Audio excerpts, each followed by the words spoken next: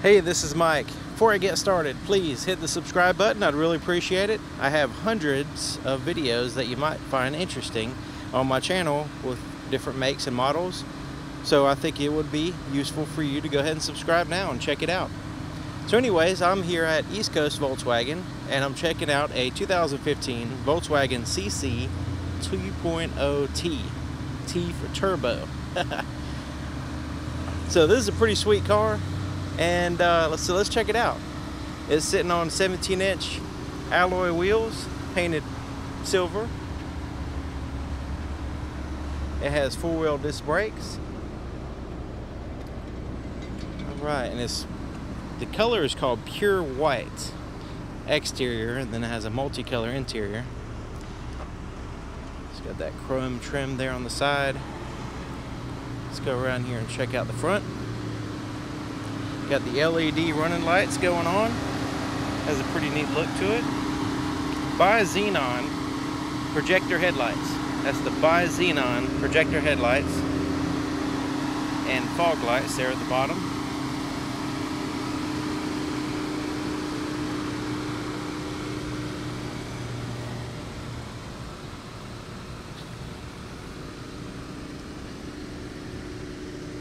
Okay, so let's go ahead and check out this side. Like I said, it has a multicolor interior, black with tan, and it has the metallic accents there. It's got a little storage pocket there on the bottom of the door. Power adjustable seats with the power adjustable lumbar support. Have the metallic CC threshold thing there, uh, badge there, and pretty good distance off the floor the seat is and it's like a dental chair. You can go up and down side to side forward and back and all that good stuff um, to get just right. Very good bolstering on the seats. They're very comfortable. Perforated leather seats. They look fantastic to me. Glove compartment is a felt line. Pretty decent size uh, glove compartment you a little space up in there. Also, it's a it's an air conditioned glove compartment. See that little dial? You can uh, turn that dial to turn the air conditioning on and off in there. Let's take a look at the back seats. There's the back door. And the back seats, man, they look good. I like the way the uh, the texturing um, I don't know. There's something about the seats that just stand out. I think the two-tone really helps too.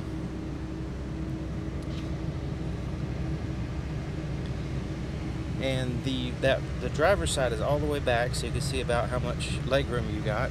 And then you've got, you know, this is a normal distance there, which is plenty of leg room for the backseat drivers.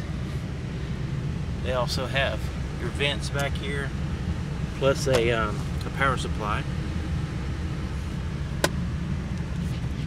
Now this folds down and you've got this armrest plus you have some pop-out cup holders here if you want to use them. And then they kind of push back in like that. This lifts up and you've got some storage space in there. These seats will fold down in case you need some more cargo area.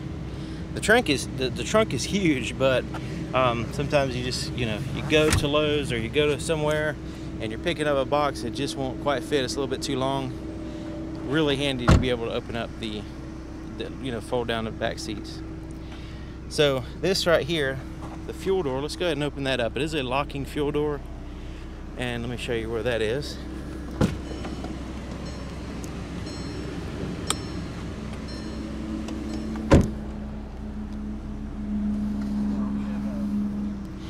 So once you unlock it, you can open it up here and it does, um, there's the fuel cap.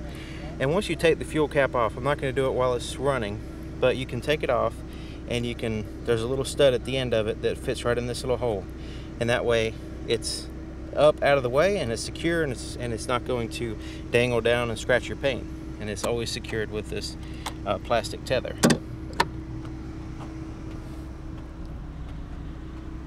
So here's the back of the vehicle And it has the dual exhaust ports there.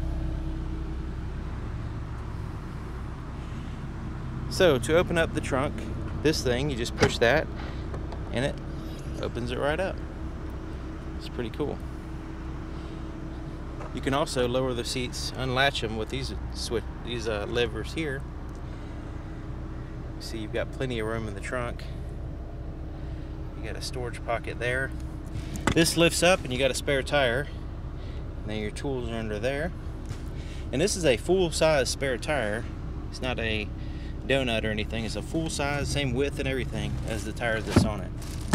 So that's really handy to have, especially on a long trip you can change your tire and just keep on going.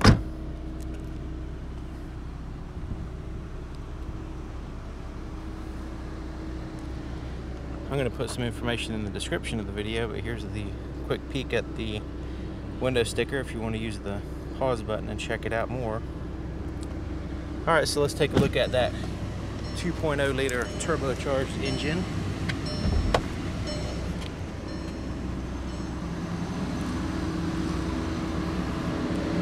So to open up the hood, just under here is a little lever. You just push it up. It's just barely in there. Once you lift it up, it'll stay up by itself. Okay, so this is a four-cylinder engine. You see the fuel filters right there on top. And the turbocharger is actually back there somewhere. It's hidden. It's kind of hidden back there. But you notice it says TSI there on the top of the engine. That stands for turbocharged stratified injection. And so basically, uh, Volkswagen uses a system with a turbocharger and direct injection to get the the fuel economy really high, but also give you really good uh, performance out of this engine. So turbocharged, stratified, you know, like layers, so the, the two layers are the turbocharger and the in direct injection. Um, you know, working together to save you gas and to give you some high, high performance pep in the engine. Okay, so let's take a look on the inside a little bit more. All right, here we are on the inside. Really neat metallic, like a stainless steel look accent around the vehicle that really pops out with the tan. It kind of is a good separator between the tan and the black. So let's go ahead and start over here on the driver's side door. You have the power windows here, which you can lock out the power windows if you want to with that button. And then your side mirror controls are here. You just have to pick a side and then use it as like a little joystick. Your door lock controls are there. So down here, I showed you where the fuel door is to open up the fuel door. Also the trunk. Now that little keyhole there, you can lock it out to where even, um, you know, lock out the trunk so the trunk cannot be opened even with that switch. That's good for, uh, like say a valet driver or something like that. You can put your, your valuables in the trunk, lock it with that thing, and then that way the, the valet driver can't go rummaging through your stuff or whatever. So we've got a storage pocket here and it's felt lined on the inside. There's your headlight controls. Here's the dimmer for your interior gauge lights. Now the headlights, uh, there's like an automatic setting there and then your headlights you can turn them on and for the fog lights you just pull this out to turn those on. So here's the steering wheel. It is a leather wrap steering wheel, smooth with no texture um, on the on the uh, the leather. And then you have the black stitching on the inside. You do have some texturing here in the center, and it has has some button configurations here. This side is for your volume for your radio up and down, change through your presets on your radio, and then this button, the phone.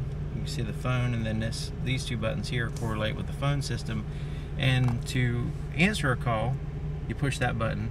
And to make a call with your voice recognition system, uh, you push that, and that will activate the microphone.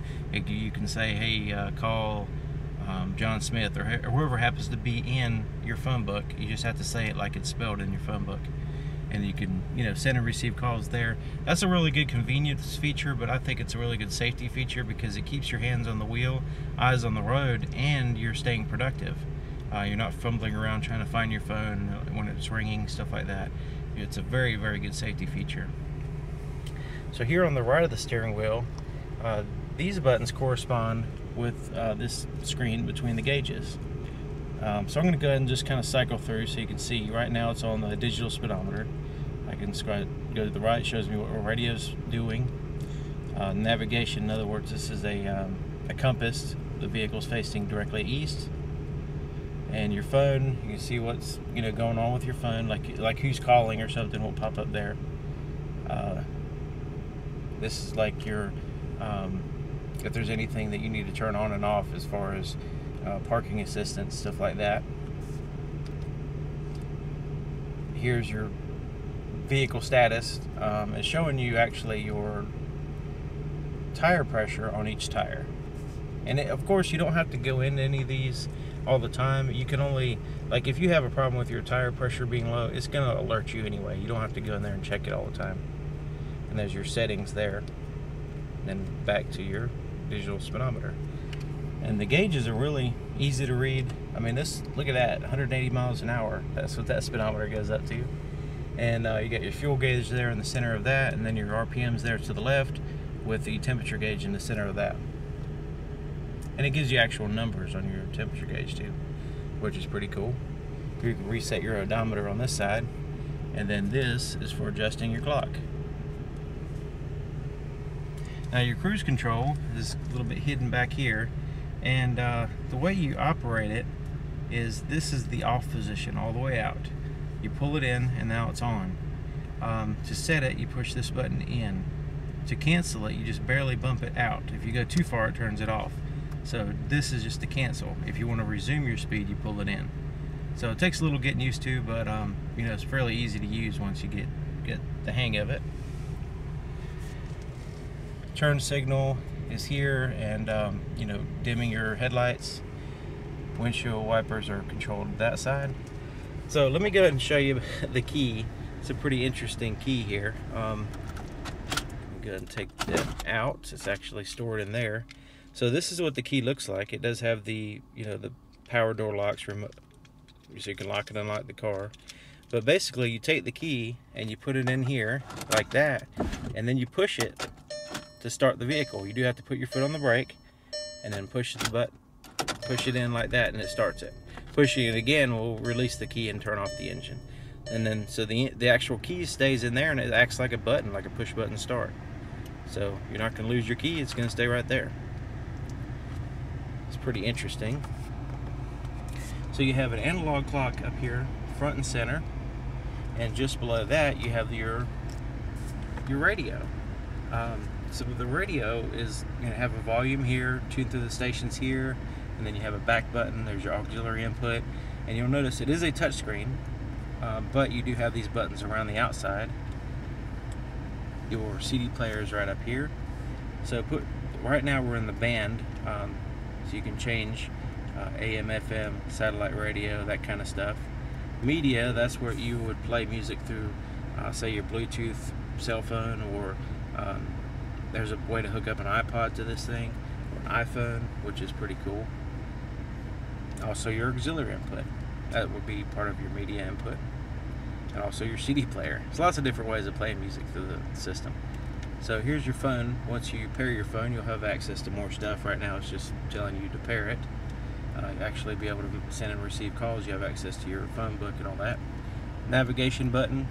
This shows you um, this shows your your view of your map and you can of course you can put in a specific address and it'll take you there just like any other navigation systems. And right here like say um, you know you can have a addresses saved you can go to a specific destination or you can save your home address. That's with little house there in there and any anywhere you are in the United States you just push the home button it'll take you back home. And then you can always go back to the map button if you want. Now these buttons down here just correlate with these two main options. So like when we were back here, uh, um, instead of pushing the actual screen, I can just push that button and it chooses that as well.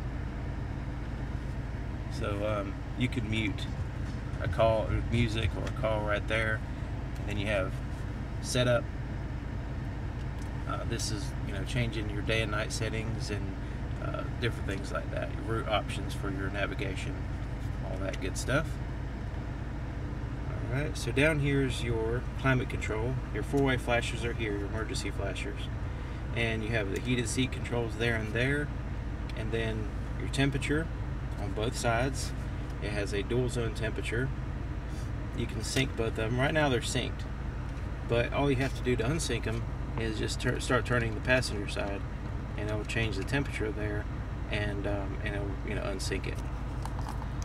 So your temperatures are there, your fan speed's in the middle, and then where you want the air to blow is across there at the top.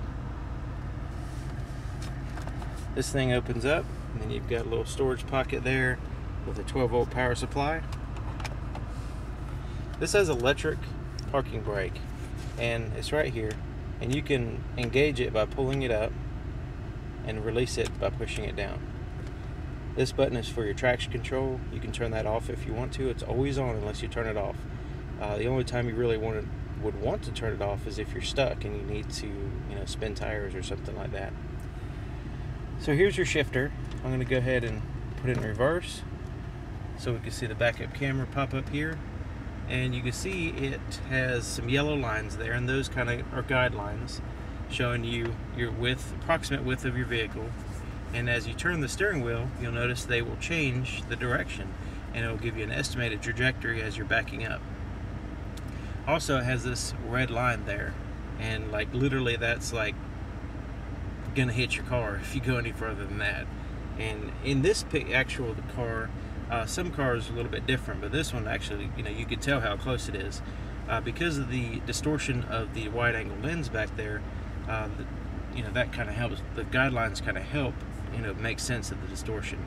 So I'm, the way this looks, it's very obvious that it's very close to your car, but, um, but some of them are not. So continuing down with the shifter, there's neutral, now there's drive. That's the normal drive position. You drive around like that and um, you know that's just the normal drive position. If you ever need to change um, gears yourself you can always slide it to the right and you can bump it like a ratchet shifter and change cycle through the gears uh, like a manual transmission. Also if you want to have uh, go really like fast to get, get the full horsepower of the engine the full uh, performance you put it down in sport mode and sport mode will just tell the car that you want the highest performance. You don't really care about gas mileage right now. Okay, so here's some cup holders here, and you have these little storage pockets, and the cup holders have these things that push in and out to allow for different size cups. Plus a little center place there. I'm not sure what that's for. Maybe a water bottle or something. Really small cup, I guess. So here's the armrest, center console. Um, this right here lifts up and you will find a felt lined storage area as well as this little plug-in thing for your iPod so you can plug in an iPod or um, like a, a little bit older iPhone or something like that so up here is your auto dim rearview mirror and it has little sensors there to auto dim the, the mirror at nighttime so light headlights don't you know bother you as much up here we have quick access reading lights, tap lights here. You can turn all the lights on in the vehicle with this button. And then you put it in a center position when it's flat to where when the door opens, it'll turn on the lights. Or if you do not want it that, that to happen, you can just turn it off to where even with the doors open, the lights will not turn on. So that's that. These actually will call somebody, so I'm not gonna push those buttons. They have like an emergency SOS, uh, roadside assistance there and then like general information. So when you push those buttons, it's going to call different operator type people that can assist you. There's a place to put your cell phone, I mean your um, your sunglasses in there. It looks kind of small, so I guess you know you're not going to have like big Hollywood sunglasses, but you can put some glasses in there. The visors have mirrors and lights. A little light turns on when you open up this, which is pretty cool. Alright, so let's take a look at the visibility behind the vehicle. It's back there. Headrest getting away a little bit, but it's a good thing it's got a backup camera. That really helps out.